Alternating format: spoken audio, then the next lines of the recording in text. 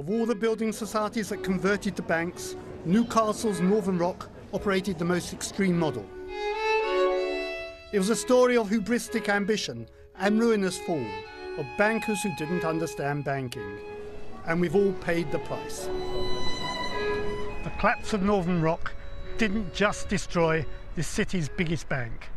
It destroyed thousands of jobs. It wiped out billions in private investment.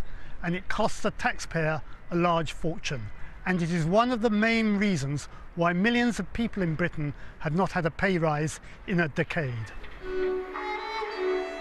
Northern Rock began life as a mutual, a society of savers and borrowers, pooling resources to promote home ownership in the northeast.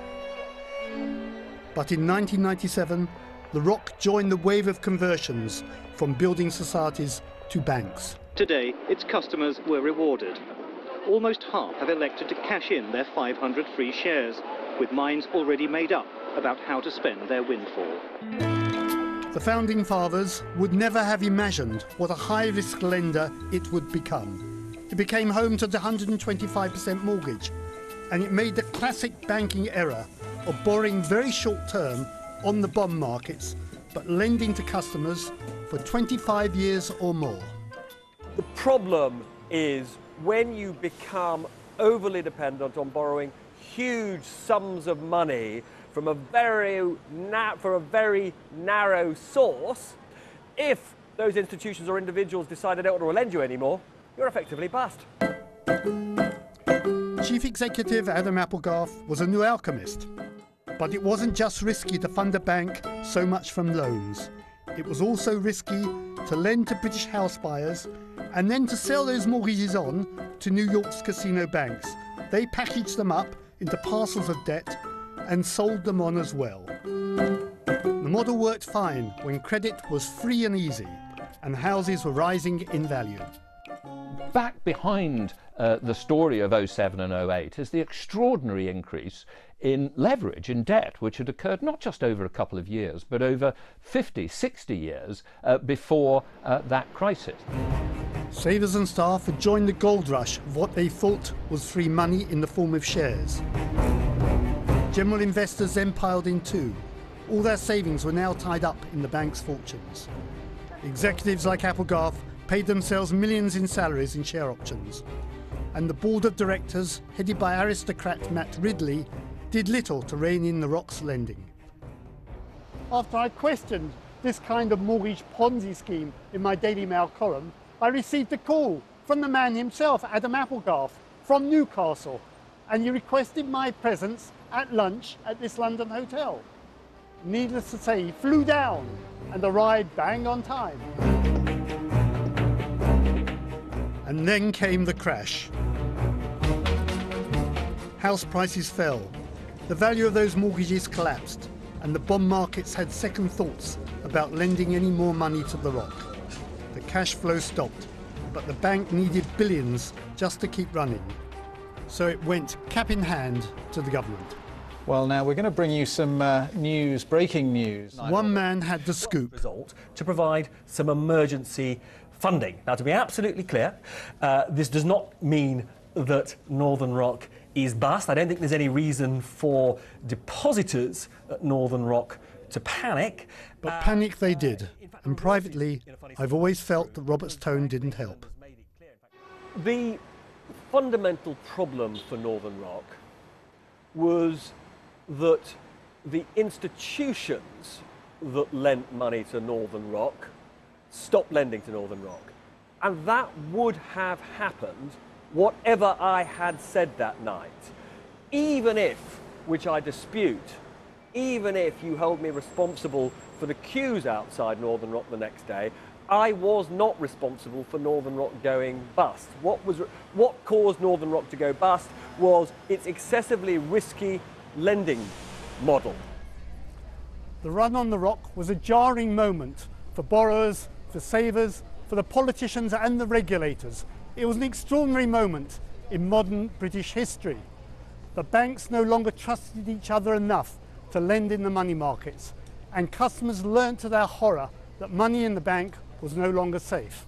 There was a real arrogance about uh, Northern Rock And I think that the board let the chair, the chief executive officer, have his head on the whole thing. It was a race against time.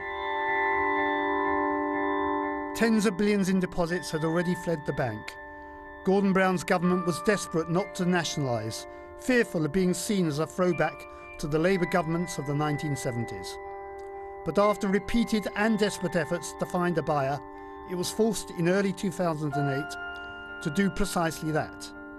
And the rock turned out to be just a canary in the mine.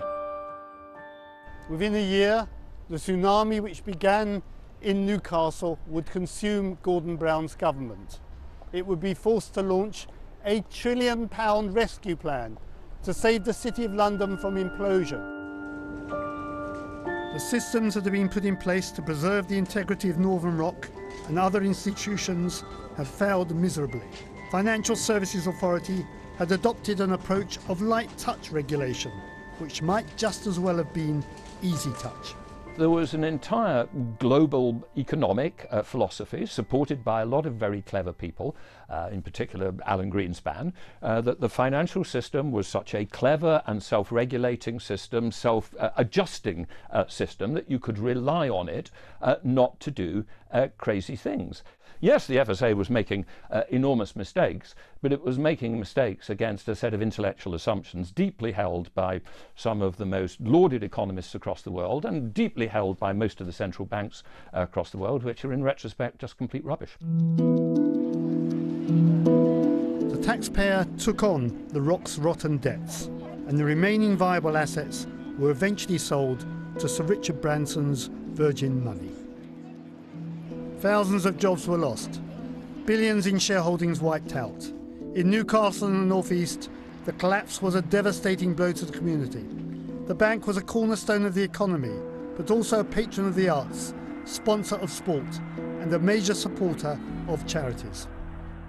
It was a, pretty much a disaster for the area. I mean, a couple of thousand jobs were lost for a start, of course. And there was a short term, there was obviously a bit of a panic amongst people to, to getting their money out. And that's not easily forgotten or forgiven. When Applegarth was removed from office in December 2007, he left with a full year's salary of £760,000, non cash benefits of £25,000, and a pension pot of £2.6 million. At retirement, his income will be £305,000 a year. Yet the credit crunch and austerity intended to reduce government debt led to a dramatic shrinking of the economy. There have been no after inflation wage increases for a decade. The squeeze on incomes lingers today. We have had a decade of stagnating and in many cases falling incomes. And you know that is why people are today so angry. And it's why people voted for Trump. It's why they voted for Brexit. It's why we've seen the Corbyn surge. It's why we've seen Macron uh, elected. And you know the ramifications of what Northern Rock represented, extremely risky finance, we're still living with. Northern Rock broke all the rules on how to run a safe bank. Regulators failed to spot the dangers. The government failed to protect savers and investors. And whilst Newcastle has begun to recover, those responsible largely have escaped unpunished.